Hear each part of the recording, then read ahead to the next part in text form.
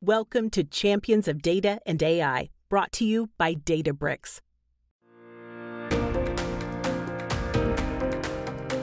In each episode, we salute champions of data and AI, the change agents who are shaking up the status quo. These mavericks are rethinking how data and AI can enhance the human experience. We'll dive into their challenges and celebrate their successes, all while getting to know these leaders a little more personally. Welcome to the Champions of Data and AI. I'm your host, Chris D'Agostino.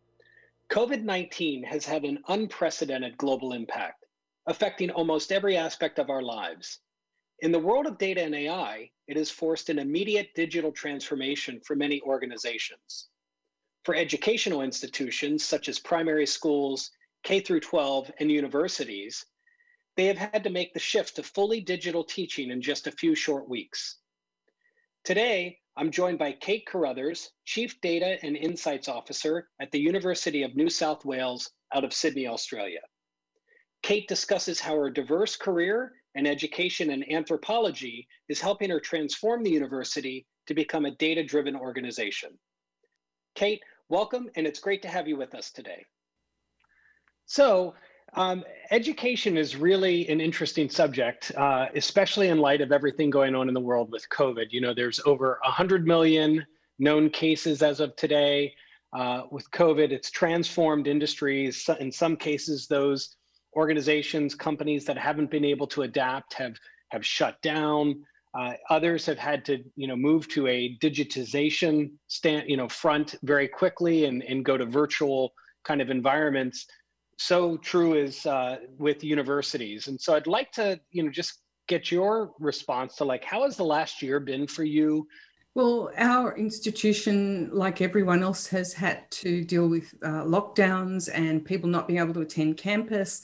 And we, at the start of last year, I was talking to some of my colleagues in the School of Computer Science and Engineering, and they were going, My course is special and unique. It can never go online. Three weeks later, that course was online, as was every course we delivered uh, last year. So, you know, it's driven, COVID has driven the pace of digitization in large uh, state institutions like universities dramatically.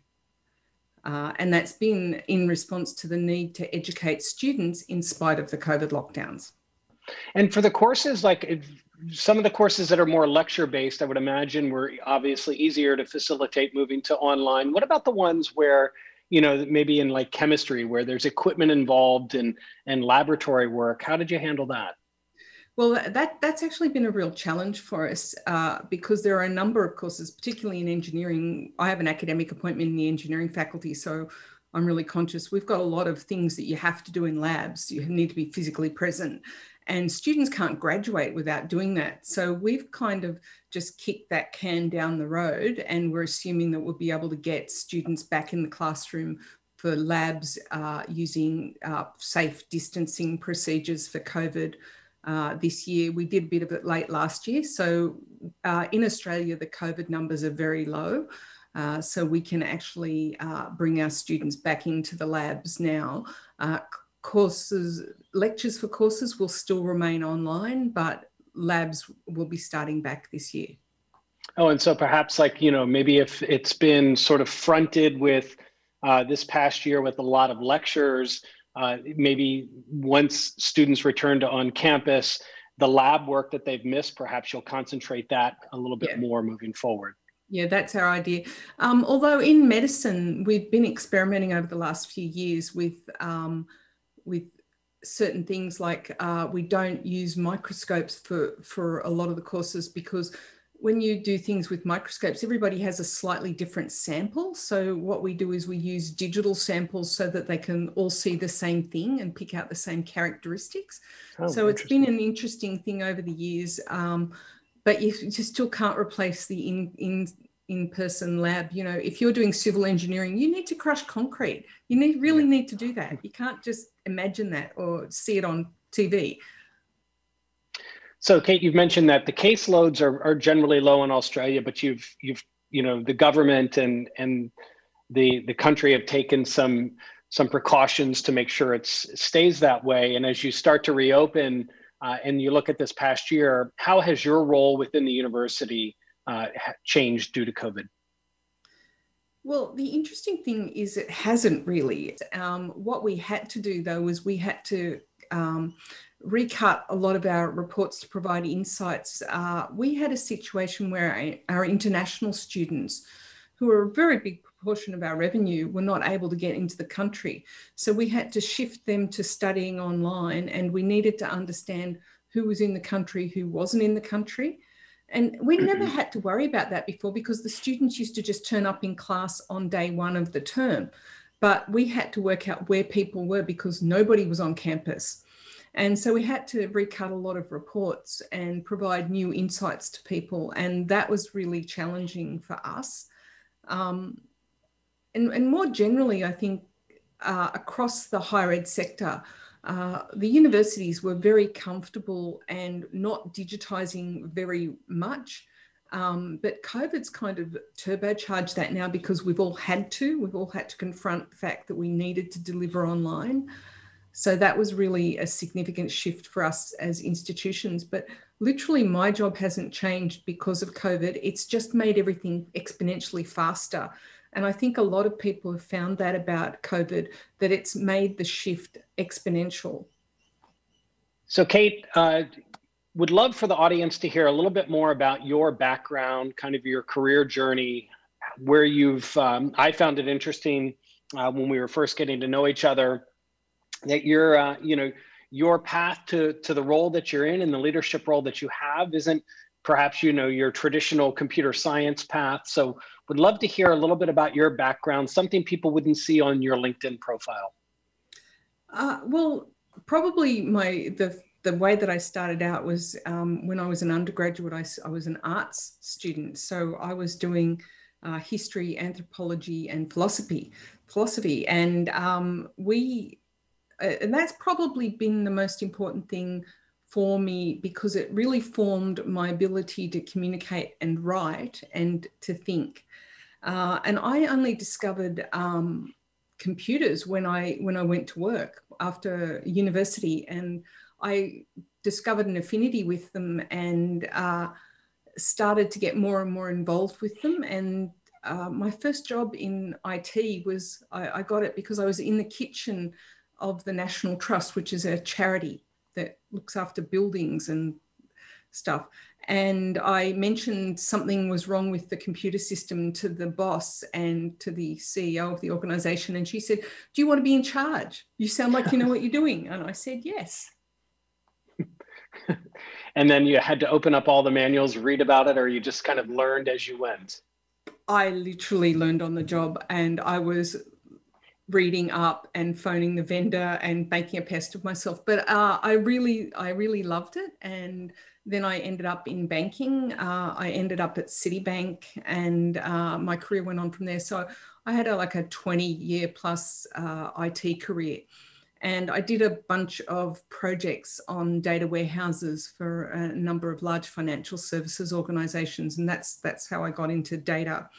And I was also a DBA for a while. So I've done a plethora of jobs across the IT sector. So I bring a very wide experience of technology uh, to, to the role.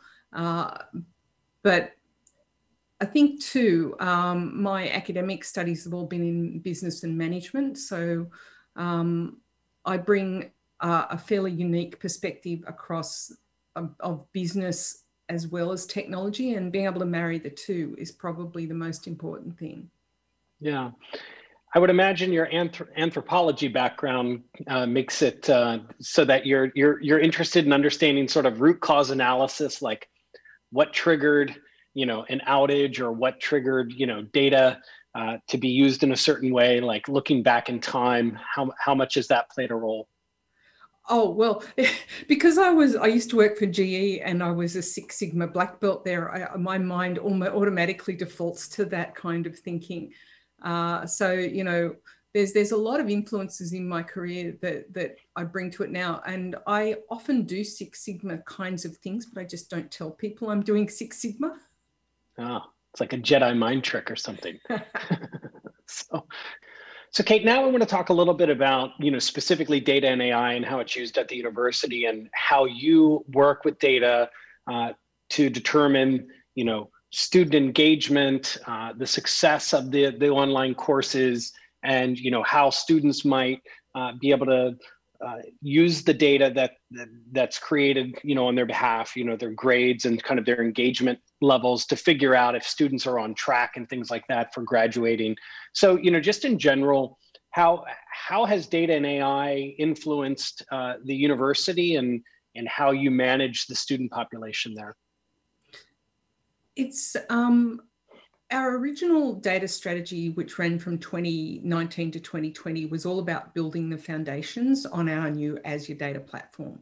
And so we've done that. And now we're looking to the new data strategy, which runs from 2021 to 2022, uh, which is all about uh, doing various proofs of concepts using AI and machine learning uh, to deliver insights. And I've just had a chat with the folks who look after our teaching and the student experience, uh, literally just before this session, uh, where we've mapped out a number of uh, co-design workshops with students and academics where we're going to co-create uh, the way that we deliver information to them.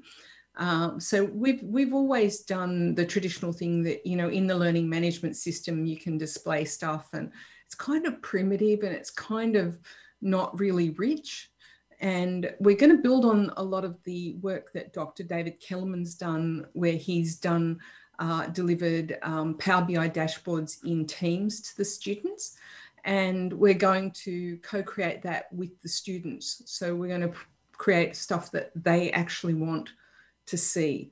Uh, we're also going to do some work around students at risk. So that's students at risk of academic failure. Uh, we want to be able to identify the characteristics of a student who's going to fail a component of the coursework uh, as well as students who are at risk of self-harm.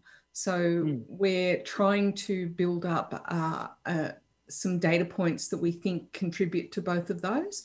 And we're going to be then co-creating the, the dashboards and the insights with, with the students and the staff. You know, when we first met, you were talking about examples of looking across the university and and David Kellermann and, and trying to basically look for examples of where data and AI has been useful to the university and then you know accelerating the, the scaling up of that those initiatives Get any other examples that you can think of of where you've seen something in the university and you thought this would be um, really great if we did it across all the programs in the university and the need to work with say the faculty and staff uh, to get buy-in and support I, th- I, think one of the uh, big challenges that's facing higher education at the moment is, especially now that we're all online, is something called contract cheating. And this is where the students pay somebody to write a unique assignment for them. And and they not only are they breaching their, their student conduct agreements and stuff, but they also get blackmailed by these people once they graduate. So it's thing, thing that sticks with them for, for life. And it's problematic for us because we're potentially granting degrees where the students haven't done the work and also the students get blackmailed. And so we're, we're going to do, uh, we're currently doing a proof of concept now uh, where we're uh, analysing our historical data to, with a hypothesis that we've got that we can identify this. Uh, so we're looking for known, can we find all the known instances of historical conduct uh, with the contract cheating? And, and if we can, then we're going to apply that prospectively. And our goal with that is we want to actually identify when a student has a propensity to do that and intervene before they do it. Uh, so that's that's something that we're working on at the moment. And um, so is this a bit of like a supervised learning? So you take known cases, you try and train an algorithm or train a model rather, and and and then now as you get new data coming in and new assignments are submitted, you're now looking for characteristics of those submissions that yeah. might match Okay. Yep. Cool. Yep, that's Very precisely cool. it. So we've got a hypothesis. We're going to run it. We're running it against the historic data to see if we can find the known instances. So we have a team that looks for this. So they they do find students and expel students who've done it. Um, so we have some known instances. So if we can find the known instances in our historical data set, that'll prove that the that the hypothesis is valid, and then we can train the we can use the historic data to train the ml and then we can look prospectively. And and then what we want to do is really try and identify what are the precursor behaviors. So what are the so that we can identify the act but can we also identify the precursor behaviors before they've actually done it? Great and so are you using Azure Databricks to help with some of this data analysis and Oh yes, indeed. Yeah, yeah.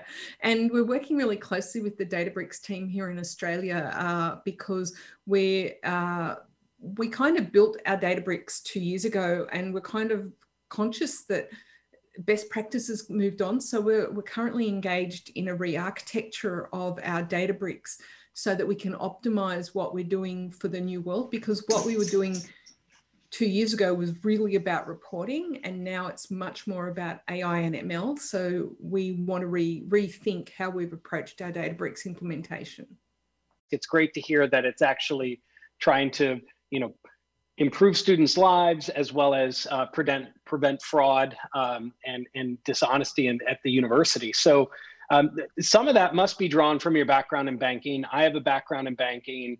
Uh, we use Databricks uh, in my prior life uh, before joining Databricks to, to combat financial fraud. So uh, would love to hear a little bit about, you must have brought some of that thinking forward. Uh, and then, you know, how do you see some of these uh, innovations that you're working on being applicable to the broader university uh, environment, you know, globally? Mm-hmm. Yeah, my my time in banking really did influence my thinking on this, and it's really interesting how the different experiences you have across different sectors can really be used to inform your experience in a different sector. Uh, so I really did. Uh, when when the conduct and integrity team came and told me they had this problem, I immediately thought it's directly analogous to fraud in banking. And I used to work in credit cards where there's a lot of fraud. So we had very sophisticated fraud tracking and analysis. Uh, and so I brought a lot of the thinking to that. But that was like 10 years ago that I was doing that kind of thing. So the technology's moved on in such an amazing way now that we've got AI and ML at our fingertips to detect this, which I would have loved when I was back in the bank. Uh, so we've got really great tools and techniques now that we can use to identify this. And, you know, it's a really a great uh, problem for ML to solve because it's all about pattern matching. Uh, so that that's really exciting. And in terms of like some of these innovations and some of these use cases, do you see them as being applicable more broadly to universities and education globally? Yeah, it, it's really interesting. Like we have to be very careful when we're talking about this stuff around fraud detection, um, not to give away the way that we're doing it because the fraudsters watch us and listen to us and will modify their behavior if they understand that we're looking at particular things. So we have to be very careful but we we do regularly meet. So all the universities in australia and internationally we used to we used to meet in person but now we meet through teams or zoom. Um, but we do meet and we do discuss this behind closed doors and we do share our findings and our lessons learned. And it's an important thing because um, all of us are smarter than just one of us and by sharing that knowledge, we can all improve our practice. And we really see that as, as an important thing. And the higher ed sector in particular is very collaborative. So, you know, we're competitors, but we do collaborate a lot.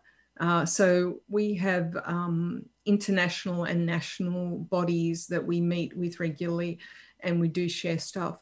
Um, but you can't always directly generalize one experience to the other place because they often don't have the same technology.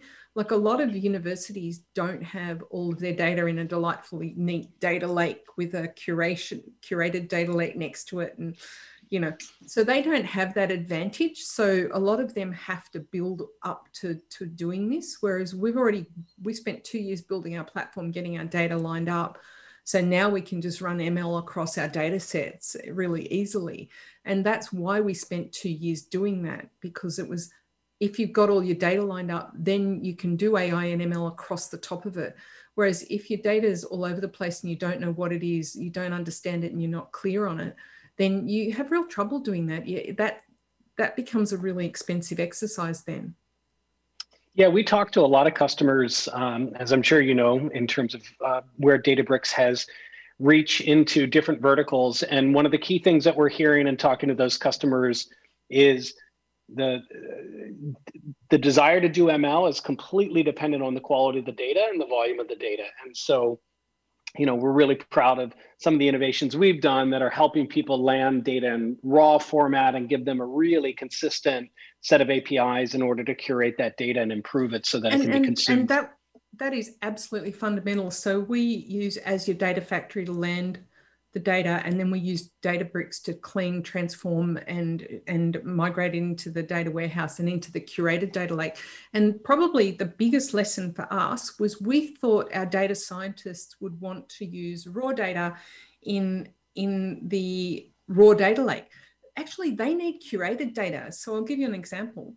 Um, so we have, uh, we do, we put out offers for people who want to attend the university and we put out offers that are conditional. And so we might say to you, you can come and study with us, but you have to prove that you've got your English up to scratch. So you need to show us your English results. So we've got all of these conditional offers that go out. Now, data scientists, and they've got random alphanumeric codes for all these offers. They need those neatly packaged up into a category called conditional offers because they don't know all of those codes.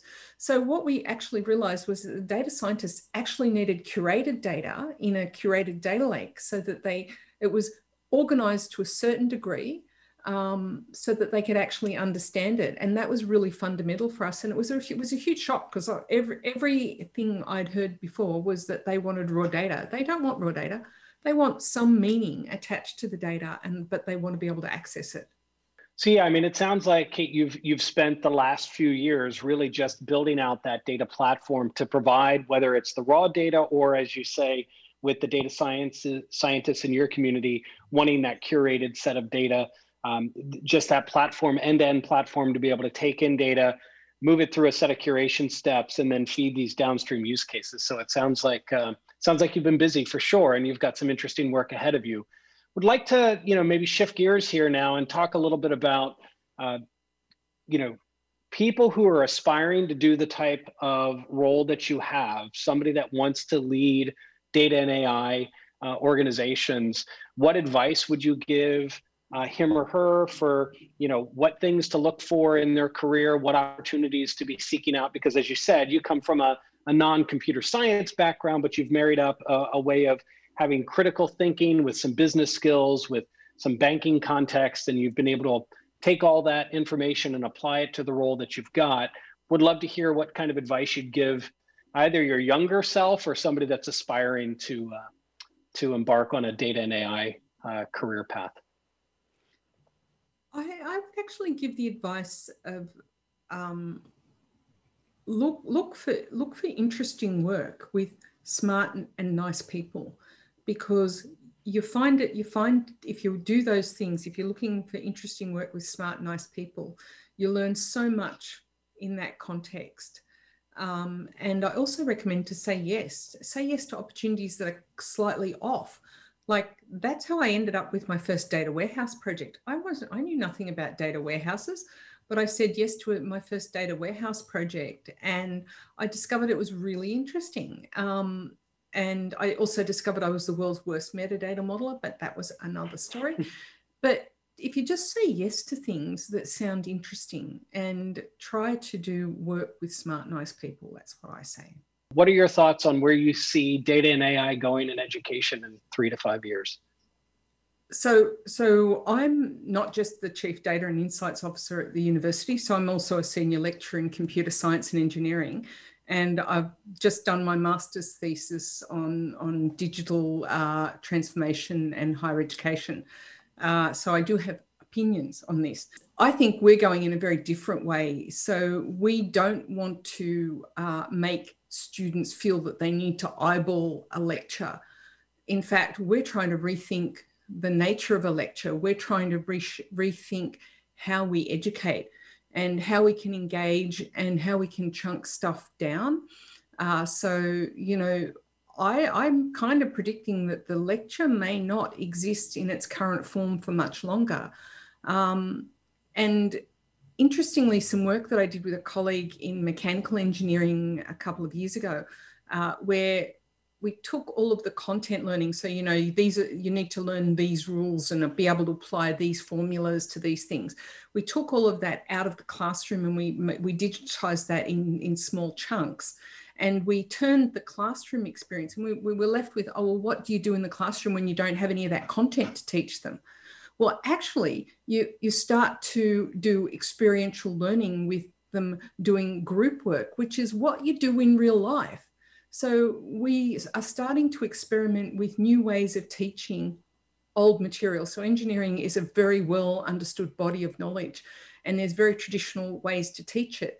But we're starting to reimagine that and rethink that. And AI is going to let us see how students are interacting with all of the material, all of the content, and be able to, we'll be able to recalibrate that material on the fly. Uh, so this is building on some of the work that Dr. David Kellermann's done and my, my other colleague. And so what I'm imagining as kind of the future is, is that we will chunk up the learning much more um, and things will be delivered in bytes and we will be able to recalibrate those bytes uh, and things like the uh, the quizzes and tests, we're going to automate all of those because I hate marking. So we're going to. It's one of my dreams that hand marking goes away. So um, David's done a lot of work uh, to be able to automatically mark freehand drawings, so students can draw with pen and paper and upload it, and then we can automate the marking of it. So we are yeah. going to remove a lot of the labor that teachers used to do around marking and stuff and re- and reshape it into our engagement with the students because students actually come to university because of the stuff. They come because they want to be with these amazing teachers and stuff and they don't get much interaction. They're sitting there passively in a class. They're sitting there passively not engaged. We actually want them leaning forward participating engaging with the teacher, not just sitting passively receiving a lecture. So I think it's going to get, I think education is going to get reshaped in really interesting ways in the future. And it's all going to be enabled by AI and ML and, inter- and interesting data driven technologies. And that's one of the reasons I got into data because I could see that data underpins the digital transformation that we're all going through. And I genuinely think any business that's not digital now is probably dead. Uh, so uh, I, I, really see an interesting and exciting future in, in education, but it needs to be driven by sound pedagogical principles. Thank you for joining this episode of Champions of Data and AI, brought to you by Databricks thousands of data leaders rely on Databricks to simplify data and AI so data teams can innovate faster and solve the world's toughest problems. Visit Databricks.com to learn how data leaders are unlocking the true potential of all their data.